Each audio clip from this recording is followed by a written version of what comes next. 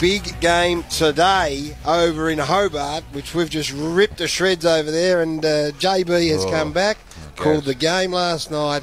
And his love of uh, the Apple Isle has seen him get up early and wander back down there because his Kangaroos take on the Tigers in what is a very big game, I bro. know he's going to join us in just a moment. There's only one team that can survive down there, Garry. Tassie isn't big enough for two. They clash in Hobart today. The Come on, I've been The- down there. I've seen it. The home of North Melbourne down there today, and it'll be very, very interesting to see how they're going. But only one can survive, JB, as we welcome you to the broadcast. Bristle, that is absolute horse garbage. You're going to need I'd to like play to some go more. Stronger, but uh, I can't. North is Hawthorn, South is North Melbourne, and never the twain shall meet. Bristle, It's, uh, they dislike each other down here, North and South. But the so AF the comfortably AFL coexist. The AFL want them to want, wants it all to come together though, JB, as as as one Tasmania rather than North and South. Don't believe everything you read, Brian, especially from certain individuals. So come and see Oh. me if you want to know what goes on. Oh. So, so you, your, your your intention is to play a few extra games down there each year? Three a year in the south is a beautiful arrangement, Bristle, and uh, this one's full today. I think there's only about 150 tickets left to uh, Melbourne clubs, which they love down here. The day is beautiful, so we can't wait. So what do you do, JB? You, you just lob into Tassie, lob into Hobart, stroll out of the airport straight to Bellerive, or do you uh, wander around uh, and just try and see if anyone's actually in the town of Hobart? No, I go to the Henry Jones Hotel, which is one of the great hotels of Australia, Bristle, Right. and um, and then come here to the corporate function. I'm sitting with uh, Peggy O'Neill and the Richmond uh, CEO Benny Gale. Also, with, What has uh, what has Peggy said today?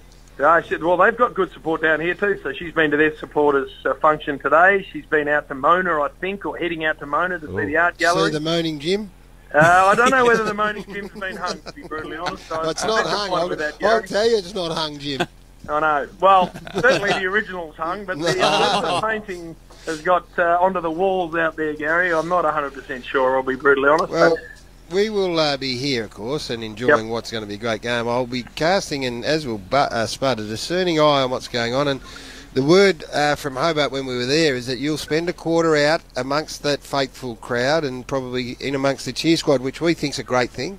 Garry, what I do is I sit out the front of this function area with No, the no. people who uh, No. do a great job funding the games Yeah, down with here. that's with the sure hoi polloi. But I believe you are going to go out and sit with the cheer squad for a quarter. What, what the people in the cheer squad, well, certainly the local people have said uh, repeatedly to me since I've been down here is They want you. out there. how dare Garry claim to be a Tasmanian when he was here for three weeks? I- well, That's I- the repeated uh, mail I'm getting. I think Well, what Spud might have something to say on that a little later What uh, we too, want, JB. Brian, is just for Jim because you said it. Yeah. It's about embracing Well. Hobart. Is to go out and sit in amongst It's the crowd. It's the right thing to do, JB, especially when you're trying to acquire exactly right. new people. I, th- you know, in fact, I don't think you should be in Peggy's lunch. No. Uh, get down Well, to it's the- actually our lunch, Bristle. We're Oh. the home team, so it's Oh, okay. lunch. So I probably need to be He's in my hosting own lunch. so, so what have you said in today's lunch? Uh, oh, I just ripped it to shreds. I tell you, I had a meeting out of the Parliament. Always do. There's no, Yeah. that's no news to anyone in that room, of course. It, Cou- couple of electric- zingers, Jim. A Couple of zingers. Yeah, yeah, some nice zingers, uh, just flying uh, freely around the room. Crispies? And, uh, no, that was all fine. And now we're just settling down for some beautiful Tasmanian fare. Have you- And uh, then we get the game going. But um, all seriousness, we need to win. That's the main thing that needs to happen today. So have, you, crossed. have you run into any of your wanker cricket mates down there? Uh, well, there's certainly Denis Rogers, the former chairman of Cricket Australia, who uh, runs the show down here. So Dennis is here, the staff of Cricket Tasmania. But I don't know. I actually Michael Di Venuto I saw the other day. Um, a very very fine player from this part of the world, Bristle. So um, they're very proud of their cricket heritage in Tassie.